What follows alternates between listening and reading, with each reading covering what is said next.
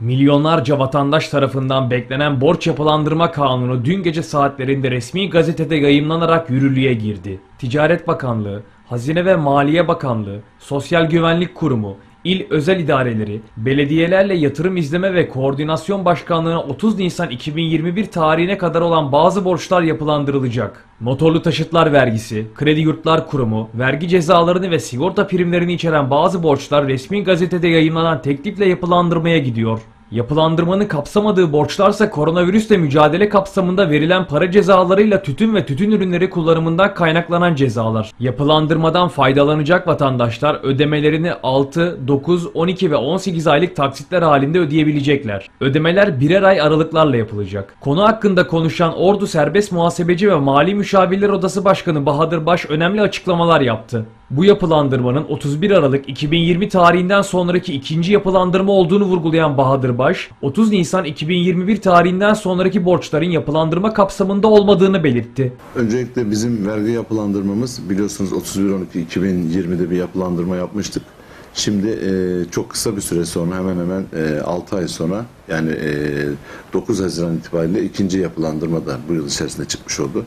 7326 sayılı yasa 9, ça- Mar- e, 9 Haziran çarşamba akşamı gece yarısı yayınlandı ve e, yaşantımıza etki etmeye başladı. Gerçekten sizin de söylediğiniz gibi milyonların beklediği, istediği bir yasaydı. Çünkü insanlar bir önceki yasada yapılandırmada borçlarını ödeyememişlerdi. Bu aslında piyasanın zor içer- zorluk içerisinde olduğu, borçlarını ödeyemediği, pa- para sıkıntısı çektiği, nakit sıkıntısı çektiği anlamlarında sonuçlarını bizlere e, irdelememizi sağlıyor. Neler var yapılandırmanın içerisinde, neler işte hangi kolaylıklar geliyor, mükelleflerimizi nasıl etkileyecek diye sorduğunuzda da ee, başlangıç tarihi şu 30'a 4 2021 tarihinden önceki borçları kapsıyor. Yani 30 Nisan'dan sonraki borçlar bu yapılandırma kapsamından değil.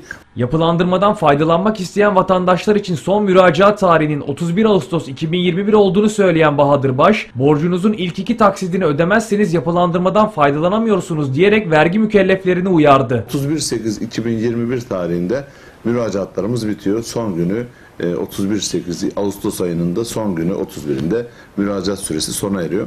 Yine daha önceki yasalarda olduğu gibi vergi 30 Eylül'e kadar SGK'da ilk taksitleri e, 31 Ekim'e kadar ödenecek. Bir ay atlanarak ödenecek.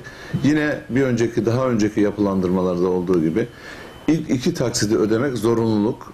Yani eğer ilk iki taksidi ödemezseniz yapılandırma başvurunuz gerçekleşmiyor veya yapılandırmaya başvurduysanız da iptal edilmiş oluyor. O yüzden ilk iki taksit çok önemli.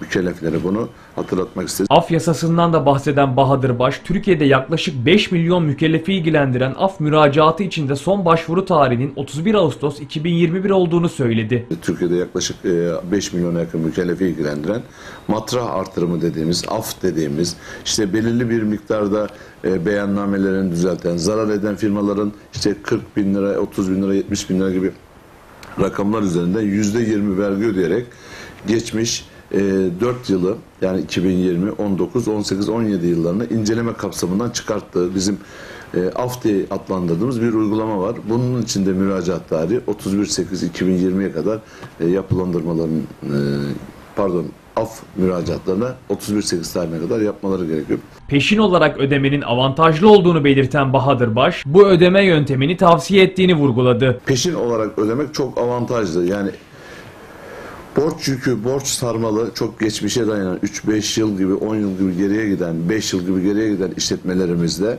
eğer borç yapılandırmasını yaptıktan sonra peşin ödemeyi seçeneğini tercih ederlerse gerçekten çok olağanüstü anlamda belki faizin %80'ının %70'in silindiği bir durumla karşı karşıyayız ki bunu tavsiye ediyoruz. Yapılandırma kararını desteklediklerini belirtirken af yasasına ise kayıt dışılığı teşvik ettiği için karşı çıktıklarını söyledi. Biz matra artırımına karşıyız. Yani bu ülkede her 3 yılda, her 4 yılda bir matra artırımı yaparsanız o zaman mali müşavirlerin, o zaman vergi idaresinin, vergi denetiminin işlevselliğini kaybediyorsunuz. O zaman mükellefler e, defter tutmak yerine kayıt dışı yöntemleri tercih etme riskiyle karşı karşıya. Niye? Çünkü zaten iki buçuk sene sonra ortalama bir af çıkıyor. Ben iki buçuk sene sonra aftan yararlanırım. Olumsuz bir durumu tercih edebilir. Yani bu af kısmına karşıyız. Yapılandırma kısmını destekliyoruz. Doğru bir yöntem. Yapılandırmaya ihtiyaç var. Piyasa ciddi anlamda bir darboğazda ve ekonomik sıkıntı çekiyor. Yapılandırmaların faydalı olabilmesi için başvuru süreleriyle ödeme süreleri arasında en az 3 ay süre olması gerektiğini belirtti. Yapılandırmaların başarılı olabilmesi için ödeme süreleri arasında siz derseniz ki mükellefe işte e, Eylül ayında vergi Ekim ayında SSK ödeyeceksin. 31.8'de müracaat edeceksin. Adamın parası olsa zaten bunları öderdi. Mesele şu. 31.8 müracaat yapılsın. 34'e kadarki borçlar. Ama bunları mutlaka bir 6 ay, yıl sonuna kadar e, ilk taksit seçenekler ertelensin. Veya denilsin ki vergi 3 ay sonra, SSK 6 ay sonra. Biz amacımız işletmelerimize, mükelleflerimize, idarenin mükelleflerine nefes aldırmaksa nefes böyle aldırılabilir.